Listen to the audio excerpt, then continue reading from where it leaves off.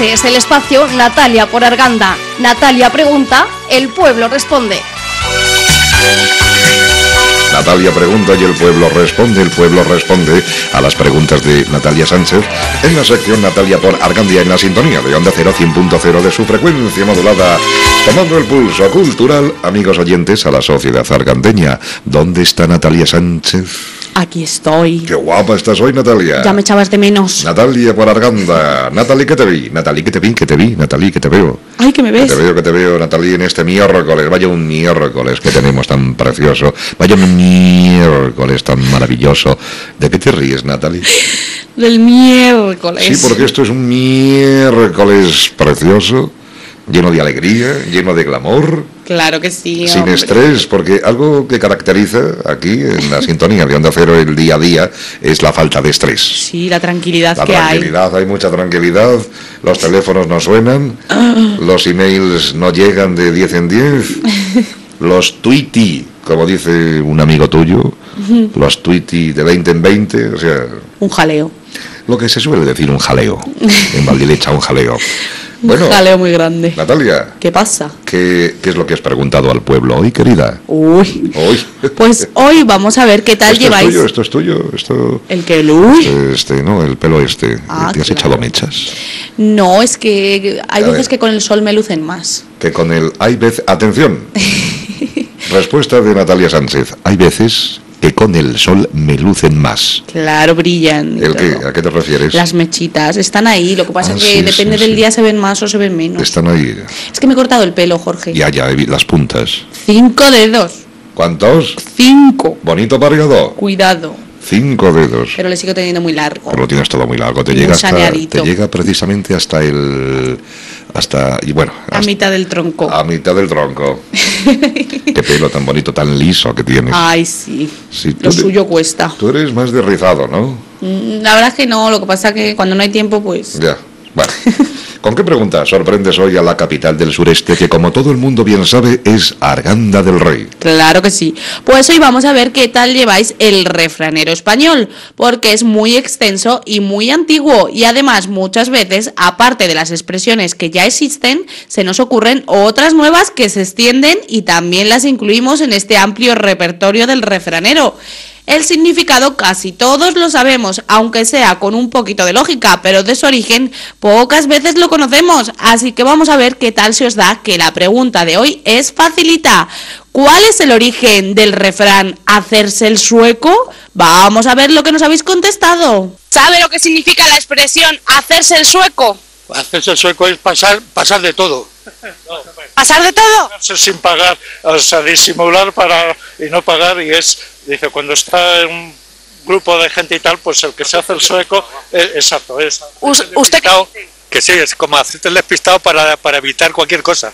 Hacerte el sueco es para evitar pagar. Evitar pagar, ¿Solo para pagar? No, para más cosas, para, para ver a otras personas, para, en fin, para relacionarte. Por ejemplo, conoces a fulano y si lo conoces y no quieres saber que se enteren, pues le dices, me hago el sueco y digo, pues no, no le conozco. Eso es hacerse el sueco también. O sea, disimular un poquito y pasar del O sea, pasar del tema en la solución al, al- al sueco es pasar del tema. ¿Y usted utiliza esa expresión?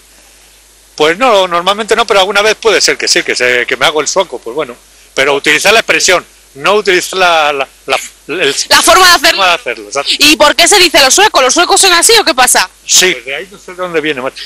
¿Cómo son los suecos? Altos. Muy frío. Fríos. A lo mejor es por eso que son muy fríos, muy distantes. Como no va a pasar que nosotros... Nos vamos a quedar helados. Pero no solamente son los checos, o sea, los suecos, los checos son peores todavía. También. También los checos son, se hacen más el sueco que los suecos. O sea que se podría ampliar el refrán a más capitales de, de Europa. Ah, efectivamente, sobre todo Checoslovaquia, la gente muy sueca, muy sueca.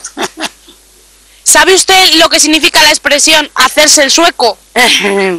Más o menos, pero no, no te lo puedo eh, eh, no hacer, o sea, deshacerte de un poco de lo que te están hablando.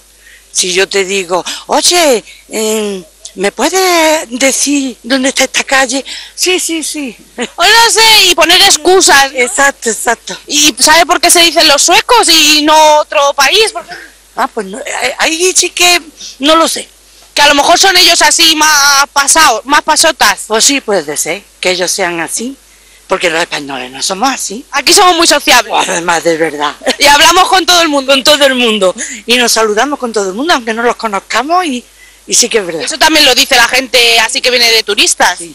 Que somos gente muy amable, les gusta todo, lo mismo el clima, la gente, las comidas, que están muy ricas. y ¿Sabe usted lo que significa la expresión hacerse el sueco? Sí, ¿Qué significa? hacerse el sueco, hacerse el tonto, ¿no? ¿Y eso usted lo ha, lo ha hecho alguna vez? Pues sí, Cuando no te interesa algo, ¿no? claro, ala, oídos sordos. No, y no contestas a lo que te dicen o lo que sea. Cuando a lo mejor te meten en un problema o te cuentan historias que no te interesan, dices, uy, paso palabra. exactamente. ¿Y sabes por qué? ¿Cuál es el origen de que se diga los suecos? No tengo ni idea, hija mía. Pero usted utiliza esta expresión. Sí, a veces sí. Bueno, bueno, la mayoría sabéis perfectamente lo que significa esta frase, ¿eh? Porque seguro que alguna vez lo habéis hecho y por supuesto también os lo habrán hecho. Pero de su origen no me habéis podido decir nada, nada más que decís que los suecos procedentes de Suecia son más distantes y fríos que los españoles.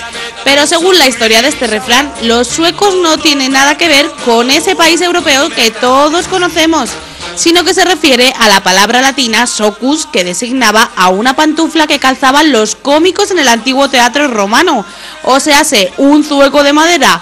También proviene de esa palabra, al igual que zurdo y zoquete, que es un cachito de madera corto y grueso. Pero también esta palabra se utiliza, como todos sabemos, para hablar de una persona torpe.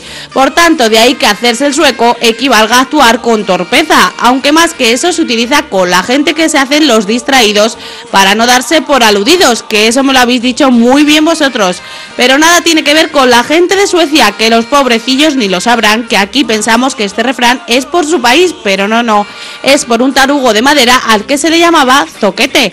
Así que ya lo sabéis. Y nada más, yo me despido por hoy. Os recuerdo el teléfono de nuestra emisora para que nos propongáis temas sobre Arganda y es el 91 872 99 16. Y si queréis volver a escuchar el programa podéis hacerlo en nuestra página web radiosurestemadrid.com. Que tengáis un buen día. Hasta mañana. Adiós, querida. Adiós a todos. Adiós, adiós, adiós, adiós, adiós. Natalia Sánchez, amigos oyentes, en la sección Natalia por Argandia, en la sintonía de Onda 0 100.0 de su frecuencia modulada. Natalia pregunta y el pueblo responde. El pueblo responde a las preguntas de Natalia Sánchez. Natalia por Arganda. Quien sabe, el próximo en responder puede ser usted.